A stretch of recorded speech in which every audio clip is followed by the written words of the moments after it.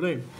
Hello. Welcome to Simon's serious sayings about stuff. Today's stuff is about exercising with videos. Um, exercising with videos is really, really fucked up.